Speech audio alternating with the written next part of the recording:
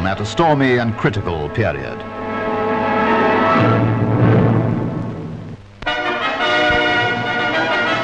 A large crowd, of course, waited in Downing Street.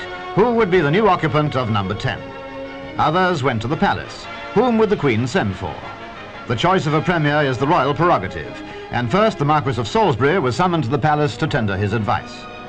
Next, Her Majesty called on the wisdom and experience of Sir Winston Churchill.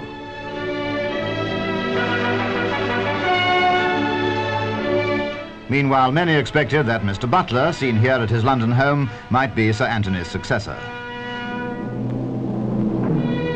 Then the crowds at the palace saw Mr. Harold Macmillan drive in, and as indeed proved to be the case, it seemed certain that he had been chosen to take over the onerous duties of the premiership.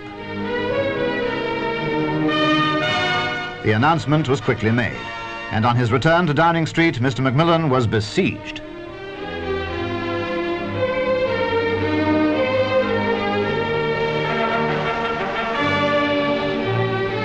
Naturally, everyone wanted a statement, and in fact he lost no time in making his first address as Prime Minister.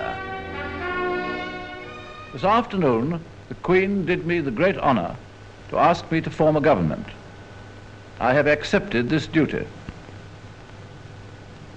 The occasion is a sad one for me, brought about as it is by the retirement of my old and very dear friend, Anthony Eden. I'm sure there isn't any one of you who would not join with me in wishing him good health and a speedy recovery. We have a difficult task before us in this country, all of us, and it will need our courage and our strength. And we shall need the sympathy and the goodwill and understanding of everyone in the country, whatever their party or beliefs. I believe we shall have that sympathy, and I'm certain that with the efforts of all, we can succeed. Mr. Cho En Lam